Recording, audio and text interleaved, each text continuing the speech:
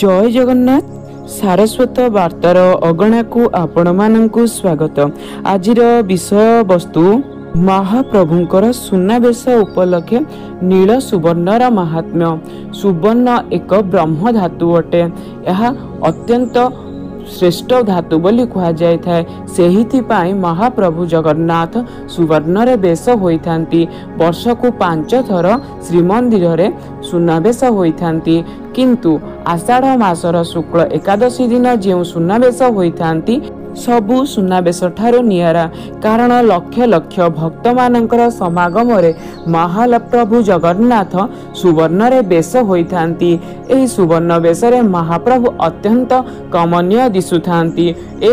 मनको मोही नेउनेसे तर समस्ते चाही समे भोलिजा महाप्रभुंकर प्रेम रे अश्रु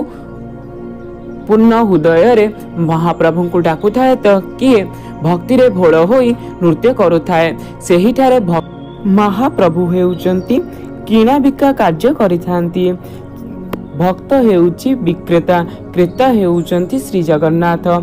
ଭଗବାନ ଜଗନ୍ନାଥ ଏହିଠାରେ ଭକ୍ତି କିଣିଥାନ୍ତି ଏବଂ ଭକ୍ତିର ମୂଲ୍ୟକୁ ଦେଇଥାନ୍ତି ଭକ୍ତକୁ ଏହିଠାରେ କିଣାବିକା ଚାଲିଥାଏ ଭକ୍ତିର ଯିଏ ଭଗବାନଙ୍କୁ अति सुसहृद प्रण से भक्ति दान कर महाप्रभु तहार भक्तिर मूल्य को प्रदान करेणुक महाप्रभु पाखे सुना बेस भक्ति किणाबिका चली थाए तेणुक बड़दाण्डे बेपार करती महाप्रभु जगन्नाथ से ही बेपारे समस्त विक्रेता मान आसी था क्रेता हो जगन्नाथ भक्ति को कि नहीं भक्तर भक्ति को ସେ କିଣି ନେଇ ସେହି ଜଳରେ ସ୍ନାନ କରନ୍ତି ଯାହାକୁ ଭକ୍ତିର ଜଳ କୁହାଯାଏ ଏହି ଭକ୍ତି ଜଳରେ ସ୍ନାନ କରି ସେ ଅତ୍ୟନ୍ତ ଆନନ୍ଦିତ ହୋଇଥାନ୍ତି ସେହିଥିପାଇଁ ତ ତିନି ଚାରି ଦିନ ଧରି ବଡ଼ଦାଣ୍ଡରେ ଉପସ୍ଥିତ ହୋଇଥାନ୍ତି କିଏ ମୋର ଭକ୍ତ ଆସିଛି ତାହାଠାରୁ ମୁଁ ଭକ୍ତି କିଣିନେବି ସେଥିପାଇଁ ଭଗବାନ ଜଗନ୍ନାଥ ଏହିଠାରେ ଭକ୍ତିର କିଣାବିକା କରିଥାନ୍ତି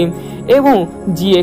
क्रेता होई थांती जे किणी थांती महाप्रभु जगन्नाथ अति सुंदर होई थांती तेणु करी सुनारत बेस होई थांती जदी कुहा जाय कि बेपारी माने कहा पाख को आसंती ग्राहक मानक पाख को आसंती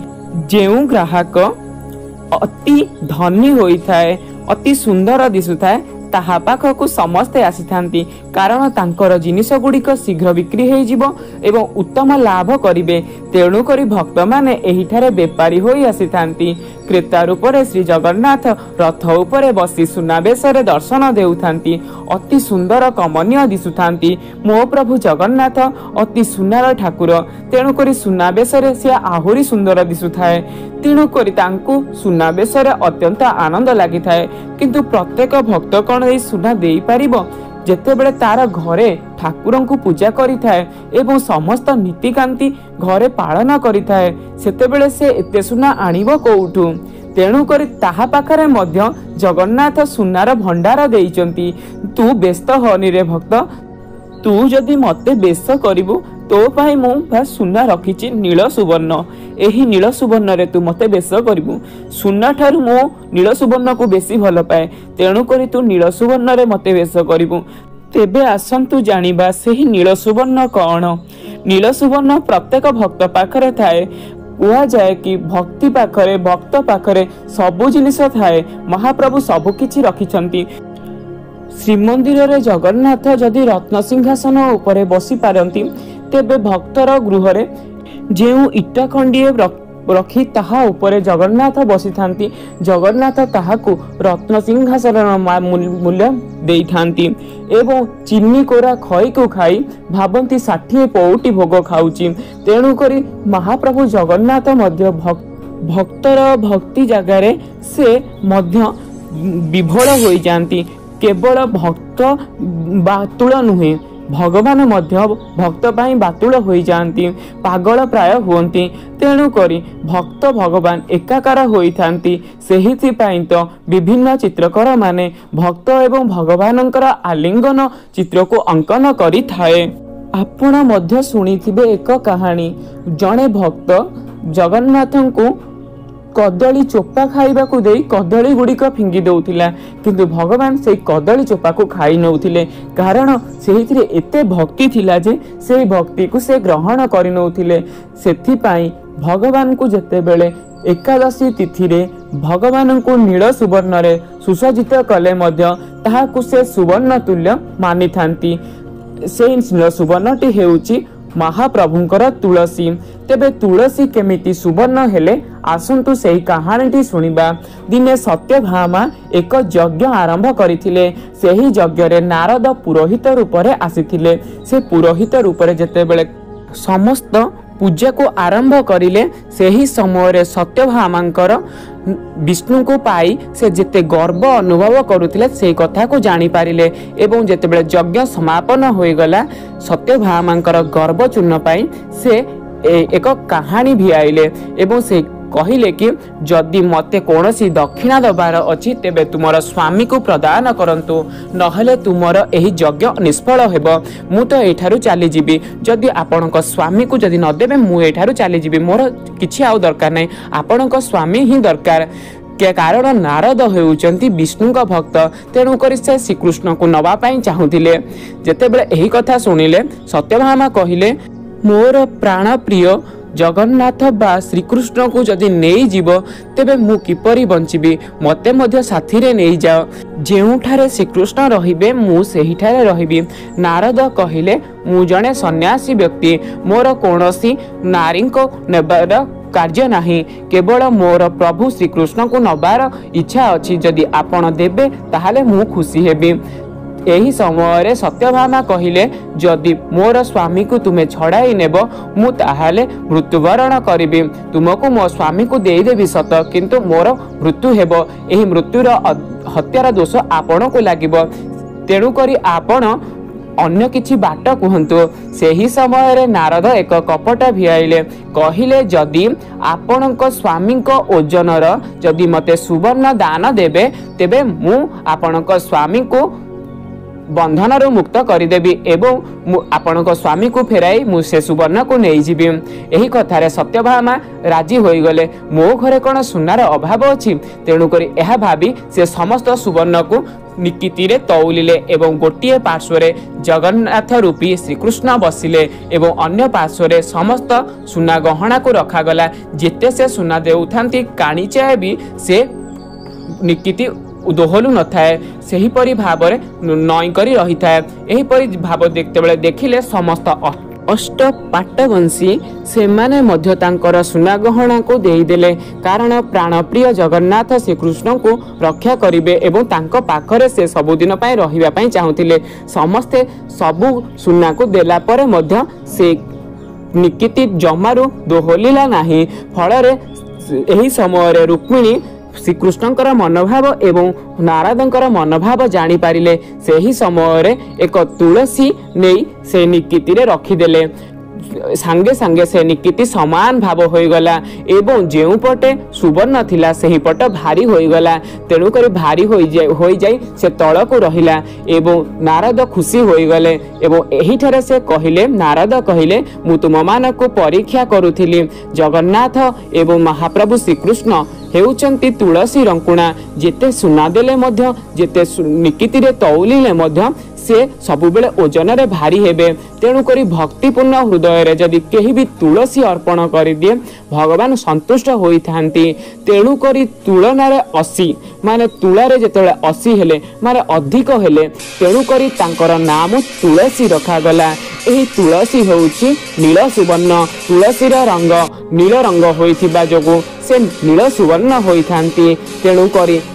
ଏହି ଏକାଦଶୀ ତିଥିରେ ତୁଳସୀ ଲାଗି କଲେ ଅତ୍ୟନ୍ତ ଶୁଭ ହୋଇଥାଏ ତେଣୁକରି ଜଗନ୍ନାଥଙ୍କ ପାଖରେ ଯେଉଁ ସୁବର୍ଣ୍ଣ ଲାଗୁଛି ପ୍ରତୀକାତ୍ମକ ଭାବରେ ତୁଳସୀଙ୍କୁ ସୂଚାଇଥାଏ ଯେ ଏହି ହିଁ ହେଉଛି ପ୍ରକୃତ ନୀଳ ସୁବର୍ଣ୍ଣ ଏହି ନୀଳ ସୁବର୍ଣ୍ଣକୁ ଯେଉଁମାନେ ଶ୍ରୀ ଜଗନ୍ନାଥଙ୍କୁ ଅର୍ପଣ କରିଥାନ୍ତି ସେହିଠାରେ ଜଗନ୍ନାଥ ପ୍ରୀତ ହୋଇଥାନ୍ତି ଯେତେ ସୁନା ଦେଲେ ମଧ୍ୟ କ'ଣ ହେବ ଯଦି ଭକ୍ତି ଟିକିଏ ନାହିଁ ଯଦି ତୁଳସୀଙ୍କର ସେବା ନାହିଁ ତେବେ ସେହି ଭକ୍ତି କ'ଣ ହେବ ଲାଭ ତେଣୁକରି ନୀଳ ସୁବର୍ଣ୍ଣ ହେଉଛନ୍ତି ମା ତୁଳସୀ ସେହି ତୁଳସୀ ମାଆଙ୍କ ମଥାରେ ମୁଣ୍ଡେଇ ସେ ବୁଲିଥାନ୍ତି ସେଇଥିପାଇଁ ତ ଭକ୍ତମାନେ କହନ୍ତି ତୁଳସୀ ଲ ତୁଳସୀ ତୋ ମଥାରେ ସୁନା କଳସୀ ତୁ ସବୁବେଳେ ସୁନା କଳସୀ ରୂପରେ ରହିଛୁ ତୋର ଯେଉଁ କୋଡ଼ୁଆରେ ଯେଉଁ ଲଗାଯାଇଥାଏ ତୁଳସୀ ସେଇ କୋଳ କୋଡ଼ୁଆ ହିଁ ହେଉଛନ୍ତି ମହାପ୍ରଭୁ ଜଗନ୍ନାଥ ଏବଂ କାରଣ ଜଗନ୍ନାଥଙ୍କର କୋଡ଼ୁଆରେ କୁହାଯାଏ କି ଅଠର କୈବଲ୍ୟ ଭିତରୁ ଏକ କୈବଲ୍ୟ ହେଉଛି କୋଡ଼ୁଆ ହାଣ୍ଡି ସେ କୋଡ଼ୁଆ ହାଣ୍ଡିରେ ମଧ୍ୟ ମହାପ୍ରଭୁ ଜଗନ୍ନାଥଙ୍କର ସତ୍ତା ରହିଥାଏ ତେଣୁକରି ଯେହେତୁ ସେ ଯନ୍ତ୍ରରେ ପୂଜା ହୋଇଥାଏ ସେ କୋଡ଼ୁଆ ସେ କୋଡ଼ୁଆରେ ଯେତେବେଳେ ପୂଜା ପଣ୍ଡା था बसई था जो जंत्र काटि था महाप्रभु नैवेद्य कर महाप्रभुंर स्पर्श थाए तेणुक तुसी कोढ़ुआ हो स्वयं जगन्नाथ प्रतीक तेणुक प्रत्येक चौरार जो प्रस्तर भाग अच्छी से ही हूँ जगन्नाथ यह प्रस्तर को केवे कूदे ना कारण यह जगन्नाथ प्रतीक होता है यह सब जगन्नाथ तुल्य मन करे चंदन आह को अर्पण करे कहुए कि तुसी हूँ ରହିଛି ବିଷ୍ଣୁଙ୍କର କ୍ଷେତ୍ର ଯେଉଁଠାରେ ତୁଳସୀ ଥାଏ ତାହାକୁ କୁହାଯାଏ ତୁଳସୀ ବିଷ୍ଣୁଙ୍କ କ୍ଷେତ୍ର ତେଣୁକରି ତୁଳସୀ ଚଉରା ମୂଳରେ ଏକାଦଶୀ ପାଳନ କଲେ ମଧ୍ୟ ତାହା ଫଳବତୀ ହୋଇଥାଏ ଏବଂ ତୁଳସୀକୁ ଯଦି ପୂଜା କରାଯାଏ ତେବେ ମହାଲ ପ୍ରଭୁ ଜଗନ୍ନାଥ ଅତ୍ୟନ୍ତ ପ୍ରୀତ ହୋଇଥାନ୍ତି ଏକାଦଶ ବ୍ରତୀମାନେ ସେହି ତୁଳସୀ ମୂଳରେ दीपदान प्रदान करत को पालन करादशी व्रत कर से मुक्ति पाई जदि कार्तिक महात्म्य को देखा कार्तिक महात्म जो तुसी वृक्ष सत्यभामा पूजा करुले पूर्व जन्म से तुसी वृक्ष ही कल्प बट तेणुक से कल्प बट सृष्टि होता जो भक्त तुसी को पूजा करें से तुसी दिने ना दिने ମୁକ୍ତି ମଧ୍ୟ ପାଇଥାଏ ଭକ୍ତର ସ୍ପର୍ଶରେ ତୁଳସୀ ମୁକ୍ତି ପାଇଥାଏ ଏବଂ ତୁଳସୀର ସ୍ପର୍ଶରେ ଭକ୍ତ ମଧ୍ୟ ମୁକ୍ତି ପାଇଥାଏ ତେଣୁକରି ଦୁଇ ଜଣ ଯାକ ଅଙ୍ଗାଅଙ୍ଗୀ ଜଡ଼ିତ ହୋଇଥାନ୍ତି ତୁଳସୀ ସବୁଠାରୁ ମହାନ ହୋଇଥାଏ ଏବେ ଆଉ ଏକ କାହାଣୀ ଶୁଣିବା ଯେ କାର୍ତ୍ତିକ ମାହାତ୍ମ୍ୟରେ ଏକ କାହାଣୀ ଅଛି ଜଣେ ରାଜା ସବୁବେଳେ ସୁନାରେ ବେଶ କରୁଥିଲେ ଆଉ ଜଣେ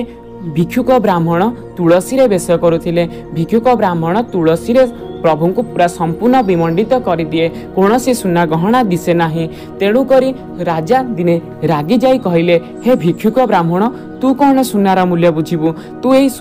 ମୋର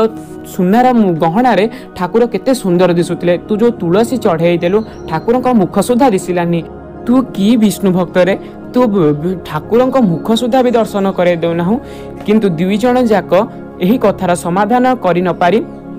କଳିଗୋଳ କଳିଗୋଳ କଲେ କିନ୍ତୁ ବ୍ରାହ୍ମଣ ସବୁବେଳେ ନିରବ ରହୁଥାଏ କାରଣ ଧନୀ ଲୋକ ଆଗରେ ଗରିବ ଲୋକ ସବୁବେଳେ ମୁଣ୍ଡ ବିକି ଦେଇଥାଏ ତେଣୁକରି ସେ ଏହି କଥାର ପରାମର୍ଶ ପାଇଁ ଏକ ଋଷିଙ୍କ ପାଖକୁ ଗଲେ ଋଷିଙ୍କୁ ପଚାରିଲେ କିଏ ଠିକ୍ କରୁଛି କିଏ ଭୁଲ କରୁଛି ଋଷି କହିଲେ ମୁଁ ଏବେ ଯଜ୍ଞ କରୁଛି ଆପଣମାନଙ୍କର ପ୍ରଶ୍ନ ମୁଁ ଚାରିଦିନ ପରେ ଦେବି ଯଦି ଏହି ପ୍ରଶ୍ନର ଉତ୍ତର ଭଗବାନ ଚାହାନ୍ତି ମଧ୍ୟ ସିଏ ଦେଇପାରିବେ ତେଣୁକରି ତୁମେ ଏଇଠାରେ ଚାରିଦିନ ପର୍ଯ୍ୟନ୍ତ ରୁହ ଯେ ରାଜା ମଧ୍ୟ ସେହିଠାରେ ରହିଲେ ଯେହେତୁ ଶିଷ୍ୟ ଥିଲେ ସେ ଋଷିଙ୍କର ଶିଷ୍ୟ ଥିଲେ ରାଜା ତେଣୁକ ତାଙ୍କ ପାଖରେ ରହିଲେ କିନ୍ତୁ ଭିକ୍ଷୁକ ବ୍ରାହ୍ମଣ ନିଜେ ରନ୍ଧନ କରି ଖାଆନ୍ତି ତେଣୁକ ତାହାଙ୍କ ପାଇଁ ଖାଦ୍ୟ ରନ୍ଧନ ପାଇଁ ସମସ୍ତ ସାମଗ୍ରୀ ଯୋଗାଇ ଦିଆଯାଏ କିନ୍ତୁ ସେ ଖାଦ୍ୟ ରୋଷେଇ କରିସାରିବା ପରେ ତାହାକୁ ଯେତେବେଳେ ଚଳୁ ବୁଲେଇବା ପାଇଁ ବସନ୍ତି ସେହି ସମୟରେ ସମୟରେ ଆଖି ବୁଜି ବସନ୍ତି ସେହି ସମୟରେ ଚୋରି ହେଇଯାଏ ଏହିପରି ଚାରିଦିନ ପର୍ଯ୍ୟନ୍ତ ଚୋରି ହେଉଥାଏ କିନ୍ତୁ କାହାକୁ କହନ୍ତି ନାହିଁ କାରଣ ତାଙ୍କର କଥାକୁ କିଏ ବା ବିଶ୍ୱାସ କରିବେ ବ୍ରାହ୍ମଣ ଲୋଭୀ ବୋଲି କହି ତାଙ୍କୁ ସମସ୍ତେ ଥଟ୍ଟା କରିବେ ତେଣୁକରି କାହାକୁ କିଛି କୁହନ୍ତି ନାହିଁ ଉପାସରେ ରୁହନ୍ତି ଏହିପରି ଚାରିଦିନ ବିତିଗଲା କିନ୍ତୁ କିଛି ଅନ୍ନଗଣ୍ଡାଏ ପେଟକୁ ଗଲା ନାହିଁ ସେହିଦିନ ଜଗି ବସିଲେ କିଏ ଏହି ଖାଦ୍ୟକୁ ନେଉଛି ଆଜି ମୁଁ ଦେଖିବି ଯେତେବେଳେ ସେ ରନ୍ଧନ କରି ରଖିଛନ୍ତି ସେହି ସମୟରେ ଏକ ରୁଗ୍ଣ सुखा सुखा बुढ़ाटीए आसला खाद्य को नहीं पलायगला जहाँ कि अर्ण केवल नहीं कि पलैला से ही समय जो देखिले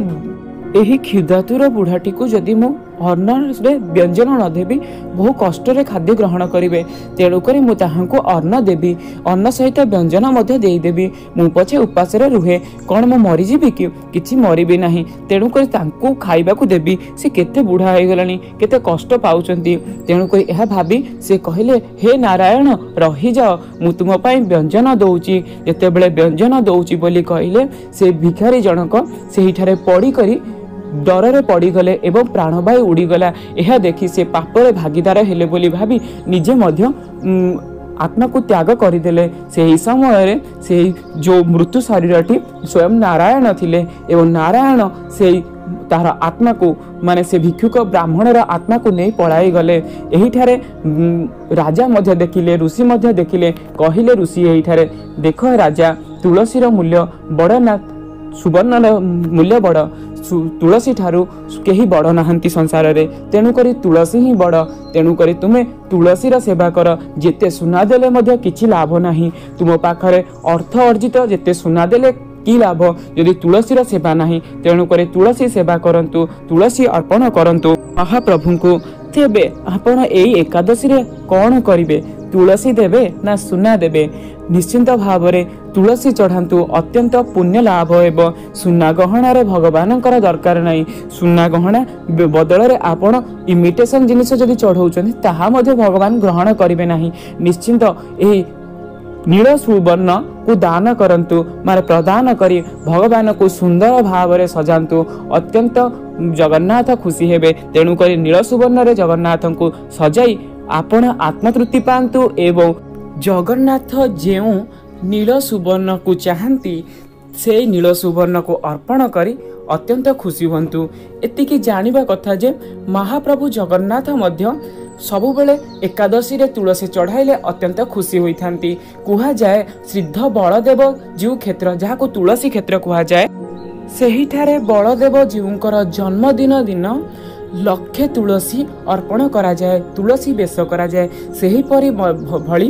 আপোনাৰ সুনাবেশ দিন তুলসীৰে জগন্নাথক বেশ কৰো অত্যন্ত শুভদায়ী হৈ থাকে ଆଉ ଏକ ଶେଷ କଥା କହୁଛି ହରି ଭକତ ଯେତେ ନର ଭଙ୍ଗା କୁଡ଼ିଆ ତାଙ୍କ ଘର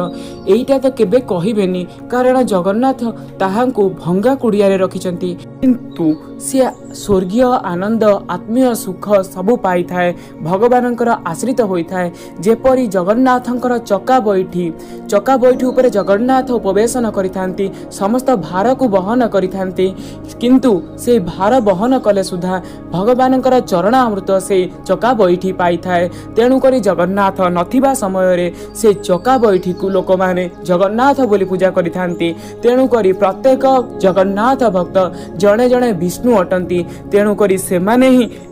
କଷ୍ଟ ସହି ସହି ସେମାନେ ବିଷ୍ଣୁ ହୋଇଛନ୍ତି ଯେପରି ଜୟ ବିଜୟ ମଧ୍ୟ ବିଷ୍ଣୁଙ୍କ ତୁଲ୍ୟ ହୋଇଥାନ୍ତି ସେହିପରି ସେମାନେ କଷ୍ଟ ସହି ସହି ବିଷ୍ଣୁ ହୋଇ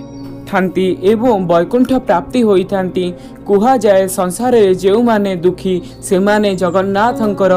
ପାଷାଣ ଚକା ବୈଠି ହୋଇଥାନ୍ତି ଯେଉଁମାନେ ସୁଖୀ ଜଗନ୍ନାଥଙ୍କର ତୁଳସୀ ପରି ସେମାନେ ହୋଇଥାନ୍ତି ତାଙ୍କୁ ମଥାରେ ମୁଣ୍ଡେଇଥାନ୍ତି ତେଣୁକରି ଯେତେବେଳେ ବି ଭକ୍ତ